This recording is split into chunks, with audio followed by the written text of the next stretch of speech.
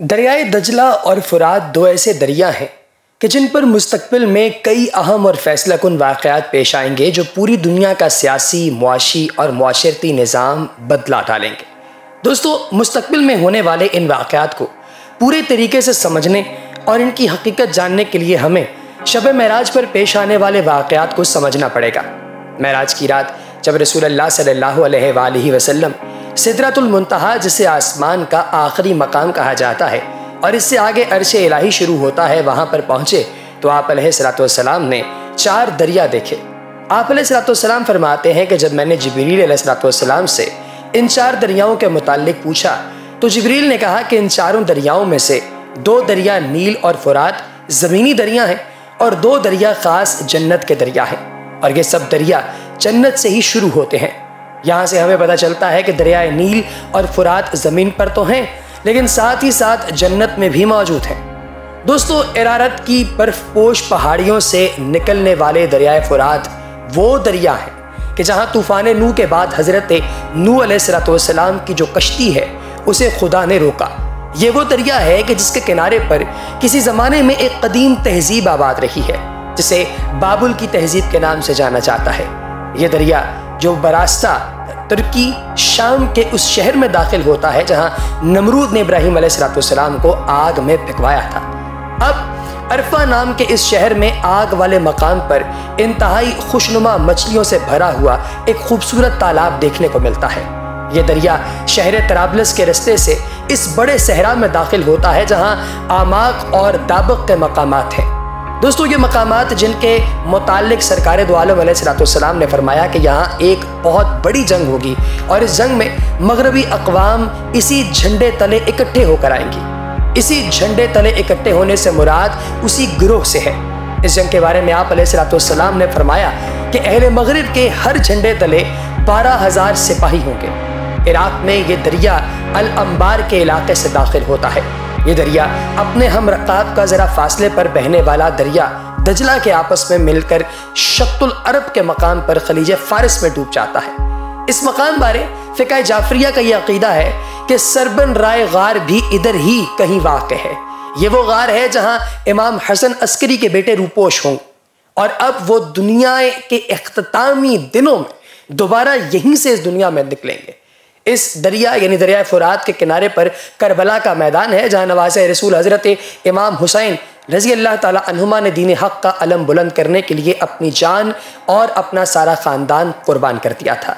ये दरिया हज़रत इब्राहिम सलाम से लेकर अब तक होने वाले तकरीबन सभी अहम वाक़ात देख चुका है और इन हैरत अंगेज़ वाक़ात का चश्मदीद गवाह है। इन्हीं दो दरियाओं, दुजला और फरात के दरमियान दुनिया की कदीम तरीन तहजीबों में से एक तहजीब मैसोपोटीमिया आबाद थी।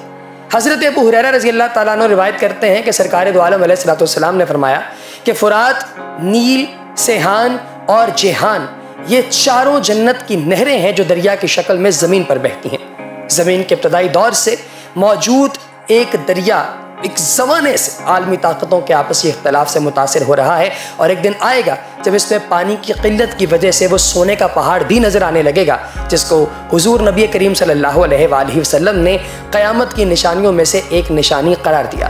और इस सोने के पहाड़ के मुतालिक इरशाद फरमाया कि तुम में से जो कोई उस वक्त ज़िंदा हो, इस सोने में से बिल्कुल कोई हिस्सा ना ले।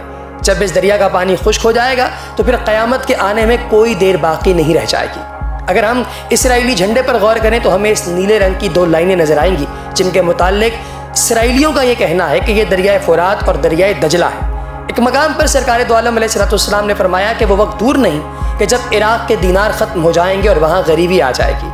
इस पर साहब कराम रिजवान तजमैन ने सवाल किया कि यारसोल्ला ये किस सबब से होगा? तो आप सलाम ने फरमाया कि ये सब अजमी, यानी कि गैर अरब लोग करेंगे। एक और मकाम पर आप सलाम ने फरमाया कि वो वक्त करीब है, जब शाम के लोगों पर पाबंदियाँ लग जाएँगी। तो साहबा ने पूछा यार रसोल्ला वो पाबंदियाँ किसकी तरफ़ से होंगी? तो आप सलाम ने फरमाया कि ये पाबंदियाँ अहले मगरब की तरफ़ से होंगी। मजीद बरा आप सरकार ने यह भी फरमाया कि मेरी उम्मत में एक ऐसा खलीफा होगा जो भर भर के माल लोगों को देगा और उसका शुमार तक नहीं करेगा। और फिर फरमाया कि खुदा की कसम, इस्लाम अपनी पहली हालत में वापस लौटेगा। जिस हालत में ये मदीने में था। फुरात पर होने वाली जंग के बारे में सल्लल्लाहु अलैहि वसल्लम ने फरमाया कि फुरात पर एक ऐसी बड़ी जंग होगी, जिसमें निन्यानवे फ़ीसद लोग मारे जाएँगे और इसके बाद इमाम मेहदी पूरी उम्मत मुसलमा की क़्यादत करेंगे। और इस तरह मुसलमान एक बार फिर दुनिया में इस्लामी निज़ाम राइज करने में कामयाब हो जाएँगे। दोस्तों, आजकल दुनिया की आबादी बढ़ती जा रही है, जिसके बायस दुनिया में मौजूद जो वसाइल हैं वो कम होते जा रहे हैं। इस बढ़ती हुई आबादी से दुनिया में पीने का पानी कम और आलूदा होता जा रहा है।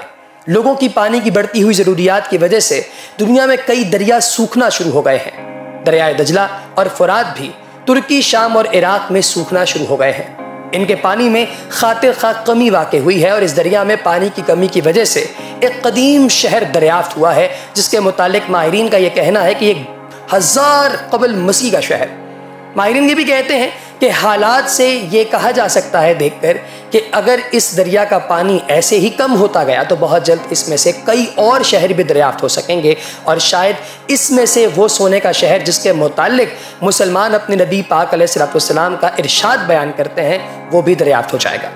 दोस्तों, जिस सोने के पहाड़ का ज़िक्र आप सलाम ने किया था एन मुमकिन है कि वो सोना, असल में सोना नहीं, बल्कि सोने से मुराद पानी हो। क्योंकि दुनिया की बढ़ती हुई आबादी की वजह से दुनिया में पीने का पानी नायाब होता जा रहा है और एक वक्त आएगा कि लोग एक बोतल पानी के लिए हज़ारों डॉलर लुटाने के लिए तैयार हो जाएँ। उम्मीद है कि इस वीडियो से आप लोगों को सीखने को काफ़ी कुछ मिला होगा। इसके साथ ही अगली वीडियो तक हमें इजाज़त दीजिए, अपना बहुत सा ख्याल रखिएगा। अल्लाह निगहबान